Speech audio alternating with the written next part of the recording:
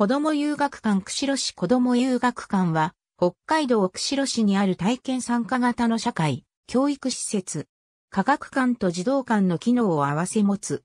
釧路市青少年科学館の後継施設として、2005年7月に開館した。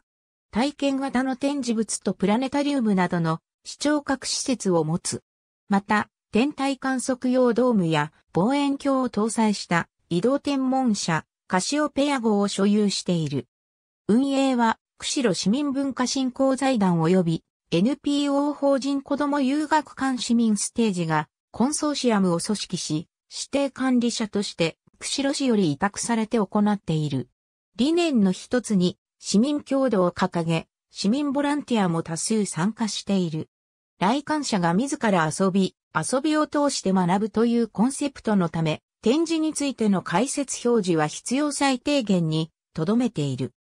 2006年、基本設計から実施設計まで市民が協議に参加した公共建築としてのあり方が評価され、日本建築学会北海道支部が主催する第31回北海道建築賞を受賞した。また同年、ディスプレイ産業賞優秀賞を受賞した。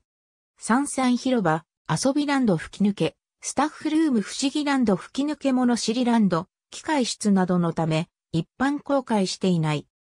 釧路新聞串根地方ニュースダイジェスト3、子供遊学館の管理運営の委託先を固める、釧路新聞オンライン2006年6月13日、社団法人日本ディスプレイ業団体連合会議、NDF 釧路市子供遊学館ホームページ、ご利用案内。ありがとうございます。